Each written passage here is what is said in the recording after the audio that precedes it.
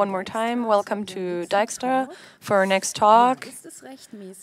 Is it legal for state and institutions to collect and publish data for ethnic minorities and which consequences will that have for the people affected by this? Those are some of the questions that the following talk will address. Specifically, they're talking about the crime statistics by the Berlin police, um, where Sinti and Roma are linked to specific criminal acts. This is a population group that's already stigmatized very strongly anyway. Um, how problematic these ways of data collection are, this is what Lea Beckmann and Anja Reuss will be talking about. Um, Anja Reuss is a political referent um, for the Central Council of German Sinti and Roma about topics such as anti-Gypsyism um, and racial profiling.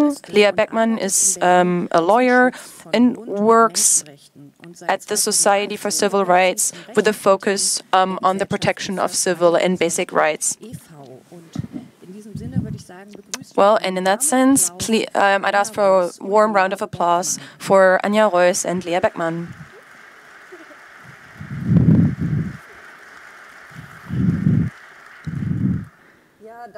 Yeah, thank you. Thanks for this welcome. I'm really happy to that there are so many people who came for this that are interested in this topic. And I think it's also the first time for anyone to be talking about anti-Gypsyism um, at Congress. And that's what I'm especially happy about, because I think it's extremely important for us to get wider reach for this topic and these issues. Um, in the beginning, I, it was already mentioned that there's a long tradition of data collection for Sinti and Roma, um, and I will give a brief historical overview over this later on. So I will do that because you haven't done that so far. So there will be a quick historical overview over how this data collection grew historically, because I think it's important to get a sense of how this is being practiced today. Um, at the very least, Sinti and Roma have always been framed as a security problem, have always been presumed guilty by association and put under general suspicion. But because we have very little time, we basically used two examples that we want to use as highlights and as examples to show what this practice or police practice, policing practice looks like. But basically, it's important to bear in mind that these are just highlights and examples, and we have some links for further information if you're interested in that. So maybe just for starters as well, what you can see here is a population polling that the Leipzig University did and that was in its authoritarianism study um, in 2018. And it's very pretty obvious in this study that people's aversion to Sinti and Roma in the population is pretty widely spread, and that the assumption that Sinti and Roma tend to be criminals, um, this assumption is very high. Why is that the case? That has different has different reasons anti-Gypsyism basically has deep roots in society, so that's an important reason, but it's also due to how police frames this ethnic minority. And maybe for starters, why it's apparently relevant for the police and why they're doing this why they claim that they're collecting data on Sinti and Roma in the first place is that they claim that Sinti and Roma are generally more prone to commit crimes. Um, they claim that the police, um, or that at least the police assumes that they have some kind of expert knowledge about crimes and criminality among Sinti and Roma and how it happens and how it uh, manifests itself manifest itself. And that's also something that you can very much see in the historical that's also something that's very relevant for the historical part that we'll talk about later. And then in addition to that, the police also assumes that what they, the group people who they frame as gypsies, the this racist concept, um, that they also assume that you can somehow recognize people by just looking at them, just looking at the exterior. And yeah, so hello from me as well. I just wanted to give a quick introduction to the legal ba basics for this, so you can understand my perspective on this. Because we at the Civil so at the um, Society for Civil so Civil Rights, we are a human rights organization, and we are different from other organizations because we, for example, um, strategically pick cases that we try to get to the courts where we think that you can um, implement and enforce human rights by going to court and taking cases to court. One of the reasons we're working together with the Central Council of German Sinti and Roma is because we're working on these human rights issues. So in the context of policing with regards to Sinti and Roma, one thing that's extremely important is that the international there's an international law that is banning racist um, policing essentially. So that's jus cogens, which means it's compelling law. Um, so even if there was an international treaty, uh, this law could not be undermined or ever been gotten rid of. So it's a very basic right. Um, it's also part of the German Basic Law, and it has specific implications for the work of the police. So whenever police has some kind of discretion in making decisions, they're still bound by basic rights um, and human rights. And this is where essentially this ban on racial profiling is especially there because they cannot act based on the assumption, based on racist assumption and racist prejudice.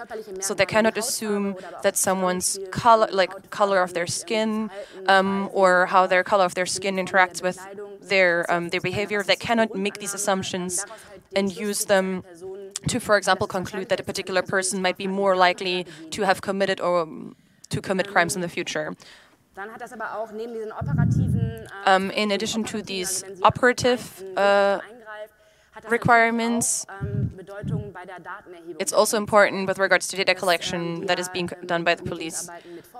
Uh, because, for example, they might help uh, investigations by pre uh, prepare investigations by collecting data, and this is also something that's specifically laid down in the law because it says that any markers that are related to race are a particular category of personally identifiable data. So there's a red flag these data can only be collected in very specific, uh, unique cases. So it's absolutely banned to um, to collect um, race in a structurally and broad-based, uh, analyzable way. So you cannot just collect data for everyone in Germany who, for example, is part of Sinti and Roma or another ethnic group. In addition to that, it also means that in particular contexts, so for example, police can collect data if it's if it's absolutely important and absolutely necessary for uh, preventing um, a danger, like a particular danger, or for investigating a particular crime. But so only if it's necessary for those investigations. So that also means that if there is a concrete and specific suspicion, um, and they're looking for um, they're looking for someone, they can collect that person's color of skin. But if if they, for example, just assume that someone who's part of Sinti and Roma is more li likely to commit a crime, then they cannot just use that as an assumption to assume that someone is more likely to commit a crime.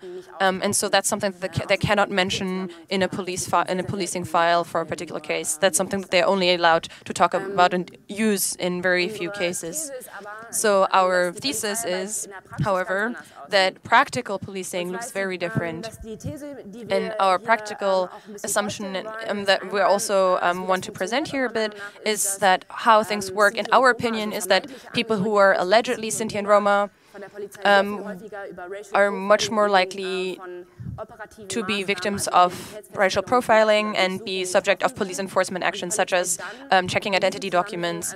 And then in those contexts, the police will essentially mark down in their files that these people, um, that the people who they watched or enforced something on, that they assume that these people are part of Sinti and Roma and so that there is a collection of data on alleged Sinti and Roma, which is then in turn um, used as the basis for investigations, which are essentially happening on the basis of racist prejudices. As I mentioned, there's a pretty long historical tradition within the police. And this is also something that goes further back than even National Socialism in the Third Reich. It had its kind of high point uh, under the Nazis, but this practice, this policing practice, is way older. So the concept of quote unquote gypsies is something that first appeared in the early 18th century. Um, and at, at the time in the empire, the first types of data were already systematically collected. And then under the Nazis, that data was used to deport these members of this ethnic minority and murder them,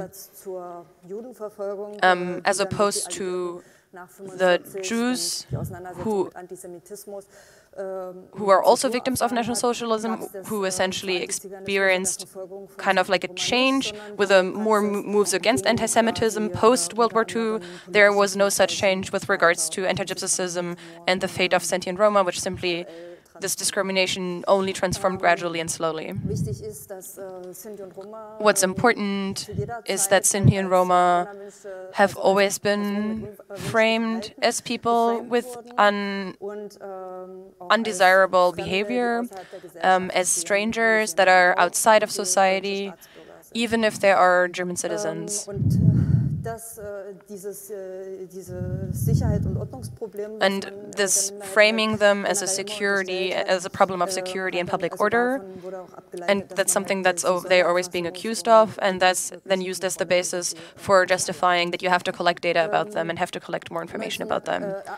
In 1899, the Munich Police Department even created a, a gypsy, uh, gypsy central, quote unquote, which basically published the first so-called gypsy book in 1905, which had data on 3,000 people in there, including their family trees and other personal data. And this is the type of data that was they continued to collect, which was then used during the national under National Socialism. This institution essentially moved into the security administration. And the Administration 5, or Amt 5, then continued this data collection and also passed it on to a uh, to an office that was concerned with hy uh, hygienic race research, um, which then used that to kill, murder people. Um, in 1938, um, they had information on 30, 30 31,000 people, which basically was everyone who was part of Sinti and Roma um, at the time. For all of them, they had fingerprints, pictures, um, genealogies, and personal other personal data. Um, as I mentioned earlier, this tradition continued post 1945, basically without any significant breaks.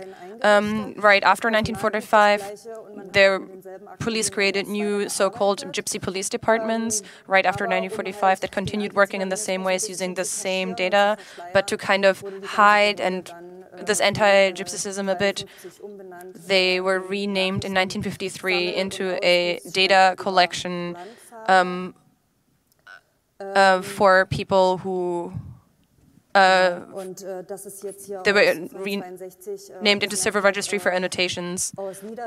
And so this is one of the publications from Lower Saxony, where it's also where it's essentially laying down guidelines for what is supposed to be collected and under what conditions. In 1970, this new registry was considered anti-unconstitutional, but the practice essentially continued. dann ab.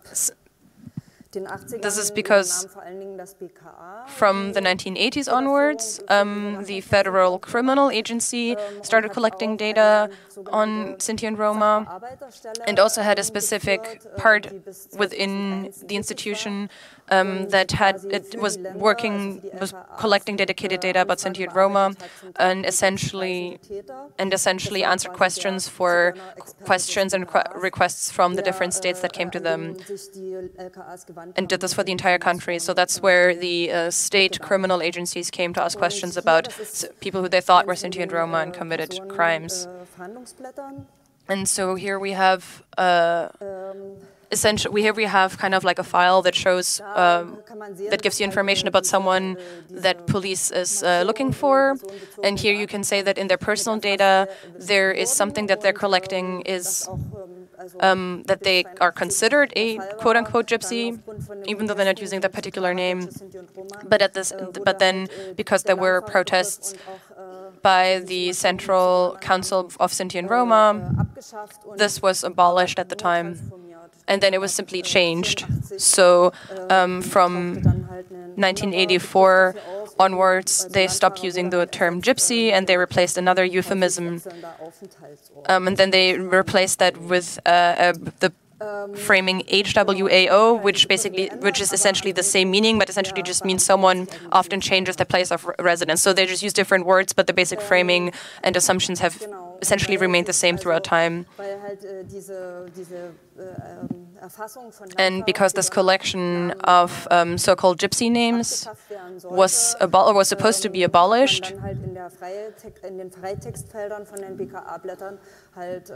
the police essentially started collecting other types of information and use different words to kind of mark people as Sinti and Roma without using the terminology they'd used before. And the police was extremely creative in doing this and had a range of different terms that they used for this that they've been using since the 1980s to essentially mark Sinti and Roma. And that's also something that continues into the present. So these are two requests from Baden-Württemberg, which is a state in southern Germany, um, from and from Saxony, where it became very there from 2014 2016 respectively where it became very obvious that police are still using similar framings uh, such as this person often changes their location of residence and ours we assume that this is essentially a category that is probably being used to collect data on Sinti and Roma. Um, when being asked about this repeatedly in Saxony, uh, police basically stopped answering questions, and it's impossible to get quite, like get further answers about what exactly this category is doing. We now want to show you two examples. How does this work? How can you register Sinti and Roma? We only have these um, personalized, personalized um, data and the state databases have these kinds of um, terminology that can't be used, that have been identified as racist.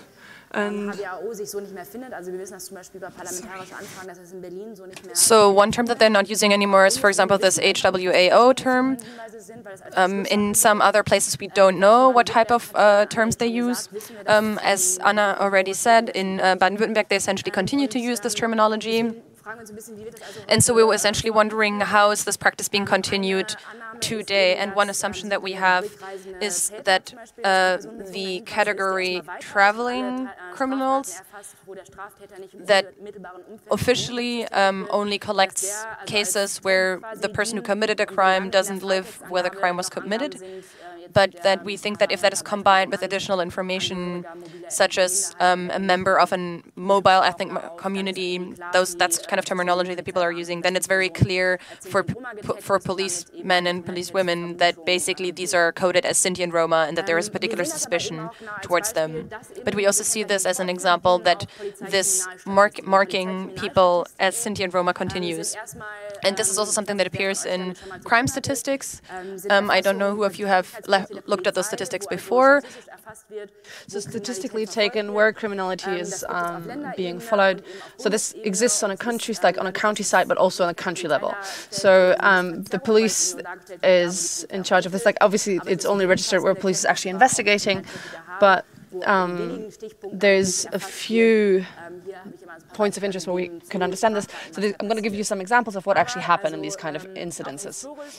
Historically, um, we have these statistics by the police, this marking or labeling of Sinti and Roma. This is from 1953, traveling um, criminals, perpetrator, Okay, there we had it. So the definition of the um, traveler, travelers are people that, um, due to origin, are traveling from place to place, usually um, in caravans, and are traveling in the country in these and do not have a permanent place of residency. And um, if they do have um, this even if they have a permanent place of residence, the, the, the assumption is that they do not get rid of this um, marker of being part of the traveling community. So it's basically genetically based racism that assumes that once you're part of this community, you're always part of this community. So I'm giving this example. Um, there's other examples. I'm just going to give you one. Um, this criminal statistics by the police from Frankfurt from 2005. We have this section, so criminal acts from um, people people who belong to mobile ethnic minorities. Like again, once again, we find these kind of labeling or marking that traces back to being racist. Um, in 2007, we again see this, how this is continued as a tradition in the investigation. So investigations were targeted towards specific ethnic groups. So this sort of like racist investigation is obviously a great danger of this. How do we uh, came to work together? So obviously, like also in the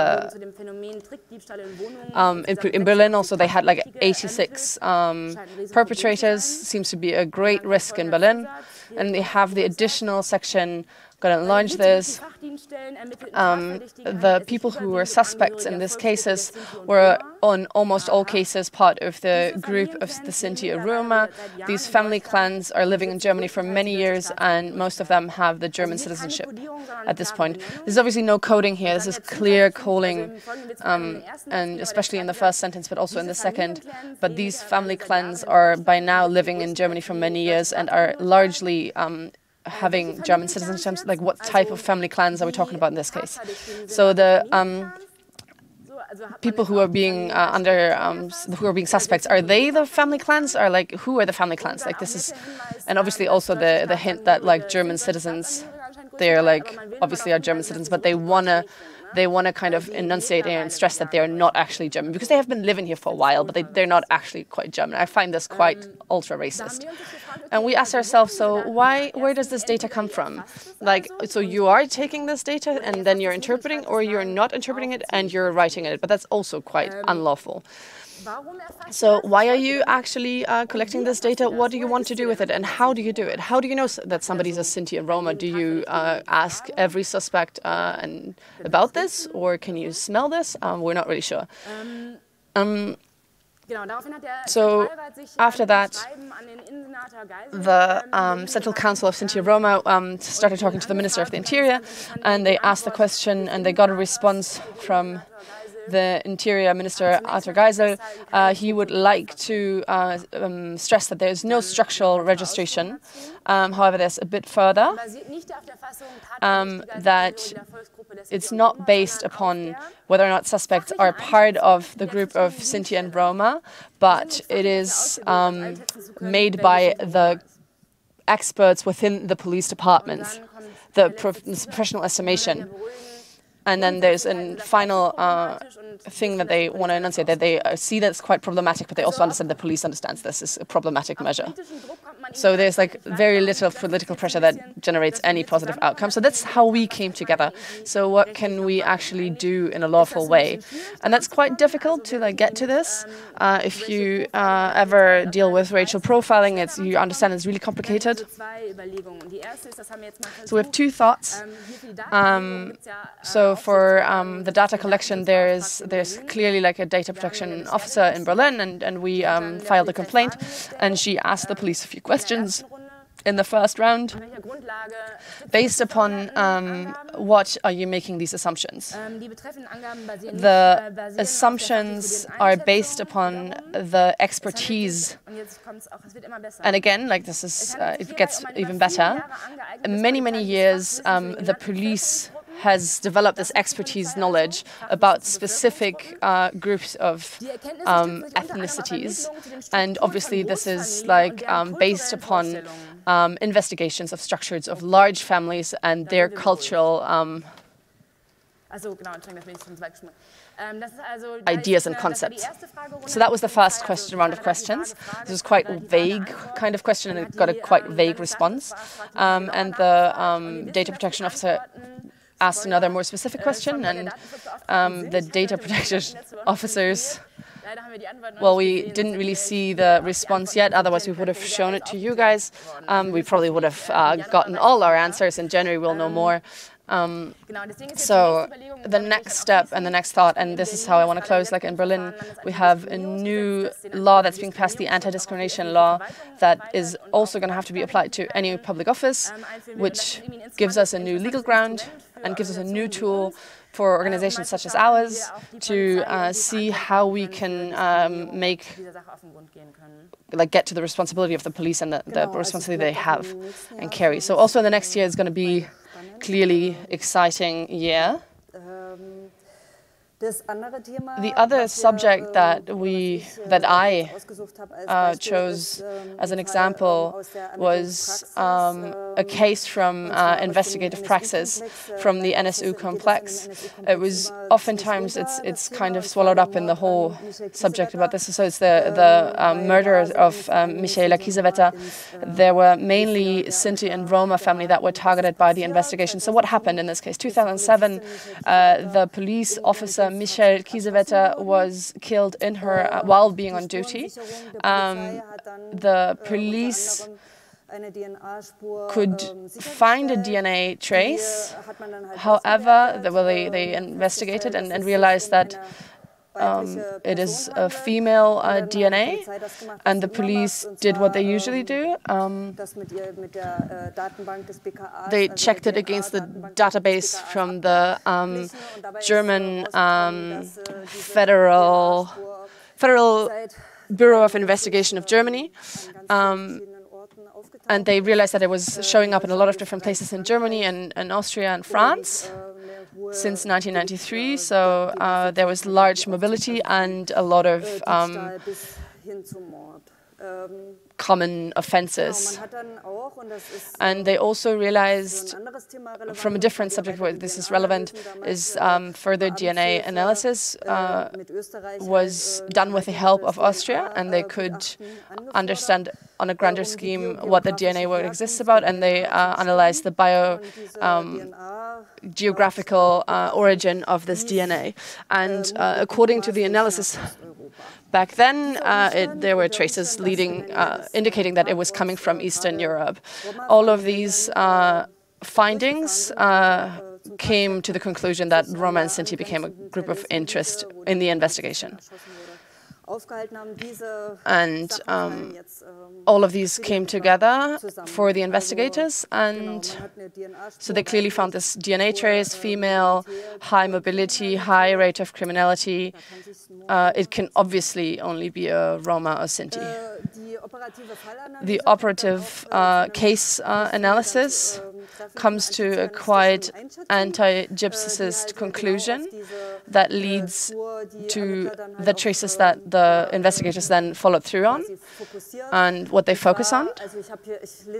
And I will not read all of this, but it is it's somebody who clearly keeps traveling around, so it's part of the traveling community, lives on the border of society, um, lives a vagabond lifestyle, is does not belong to a well-established group of society, but only sees its roots in there, um, and definitely has Eastern European or Southern East European um, appear appearance.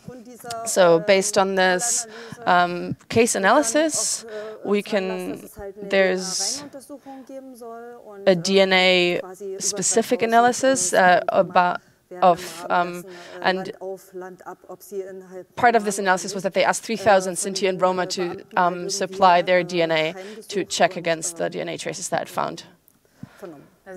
And they were then questioned. This clearly shows how this kind of database um, collection um, is being used in operative measures. And so I, what I did was I, I looked at the file, I looked at the case, and um, investigation case, and in the main main file, you can see that against all other groups, that were present on the day that the murder took place. So um, everybody that was there was not asked as a witness, but um, they were referred to as uh, Landfahrer, so traveler. So they were all directly categorized as and coded as uh, Sinti and Roma clearly and their ethnic group. So in this file um, itself, we find um, a completely different uh, setup of the file, a lot of long lists of Roma uh, with person, personal data and fingerprints, DNA profiles, you name it, it's in the list. Um, and what exists, what is existent in other uh, cases and files. All right, so we can also find in this file a lot of um, pictures of Roma. Also, you will not find this in any other file. Uh, in any of the other witnesses in this case. All the questioning of the witnesses was completely different to any other witness that was on the ground. It was less about the day itself, but investigators mainly focused in, and this really in the um, tradition of anti-gypsist um, police investigation, we find an overview such as this one, a genealogy about the Roma uh, family, which is a hundred-year-old tradition. And what really was fascinating for me in this regard was that not only could we find the name, but also find their minority belongings. So that was what used to be called the so-called gypsy name. So they would also have their children that, of course, in are not related to the crime scene at all because they were at the time, time of the crime actually only eight years old. But regardless of this fact, despite all of this, they were they were um, put into the file and. And so then I looked at all the investigative measurements they'd taken throughout the whole entire investigation, and I try I analyzed this. So there were 300 35 measurements, uh, 176 focused on this phantom trace that they had found of the DNA, so it's about 52%. These uh, phantom trace two years later was found to be uh, an unreasonable it was a deception because it was actually happened in the lab um, where the um, the sample was compromised, um, and it match the woman who um, packaged the, the swiping uh, things. So after this um, this deception, this uh, this false um, thing was was clarified, they still focused in on the Sinti and Roma community, and. Uh, 60% of the whole investigation was focused in on Sinti and Roma to uh, close this up, before we summarize, I want to um, mention two more things um, that make quite clear what's going on here. One of them is a measurement where the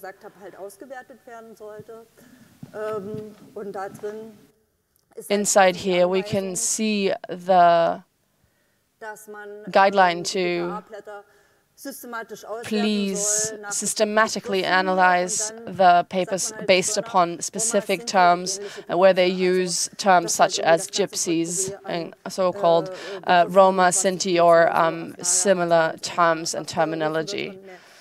So there should be an Excel sheet that should be used for future police work, for um, getting DNA profiles from people.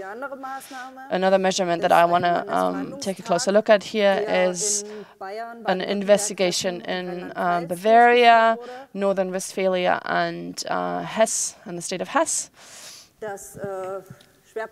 It's uh, a focus uh, point of this uh, concept of investigation was about traveling perpetrators. Again, this is about Heilbronn. Um, I personally do not know the um, evidence case file, but that's why I, I don't have the full concept of this. But I mean, you don't need enough fantasy to understand what was in there in that file. Uh, Baden-Württemberg at the end of the day of investigation said that they took in 15 and 12, 15 male and 12 female persons who matched the person um, description and, and uh, they were free, uh, freely gave their um, saliva uh, samples. So now we're going to get to our final points. We would like to uh, have like a clear and concrete um, decision about the like from the inner, in, inner Ministry of the Interior um, on the on what is racial profiling and forbidding racial profiling. We actually want uh, control and investigation of by the data protection officials to take a closer look into the police cases, and we want a better measurement of controlling and checking this. We want to extend the AGG, so like the discrimination. Uh, so there was going to be like a fast law in Berlin to that make discrimination unlawful. We want to extend this äh, haben. Um, so we also want to make sure that we want to make sure that police is held accountable, also using the courts. And then in addition to this, we'd also like this topic of anti-Gypsyism to have a broader societal alliance behind it, rather than always being um, something that is being pushed by the people who are affected by it and who are already the victims of this anti-Gypsyism. In addition to that, I think there needs to be into investigations into what has happened and what police have done so far, and into policing practice as it's happening today. Um, I think um, we also also will allow a few questions. Um, so for the stuff that we will not be able to, to, talk about in the next few minutes because of timing issues, we also have a stall in the rights and freedom area with the civil society, um, with our civil society organization. Um, so it's kind of in that rights and freedom area. So um, unfortunately, the Central Council does not have a stall, but you should come and visit us and talk to us. So yeah, we'll take questions.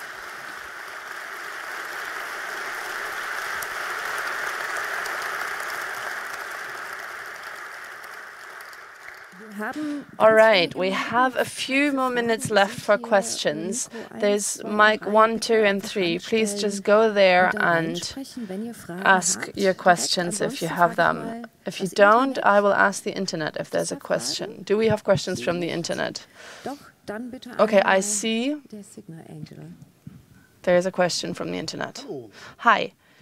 The question from the internet is if you, whether you have suggestions how to prevent this racist categorization, but still keep operative measurements up. Uh, well, that's an interesting question because the assumption is that the operative capacity will be limited if you stop being racist. Um, I think this marker, this marking of people as Sinti and Roma that has to be racist, that has to disappear from the databases, and then police needs to engage with the fact that this kind of causal linkage of association with a particular ethnic group um, being associated with um, a probability propensity for committing crimes, that's something that is absolutely not an option, not acceptable, and that is racism.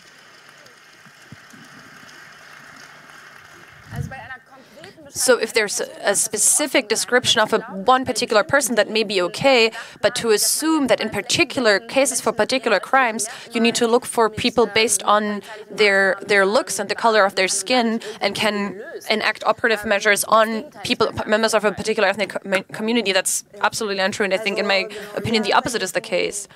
Yeah, Lea already said it and summarized it well.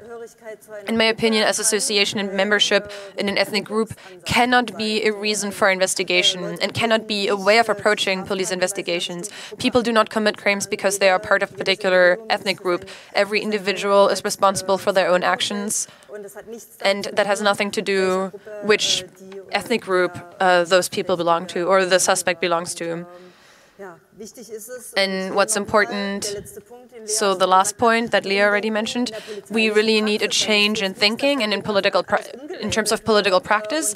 It's not enough for them to just relabel everything again and to become more creative and just use different terms to continue the same racist practice. Um, but it has to be clear that association and membership of a particular ethnic group has nothing to do with what a person does.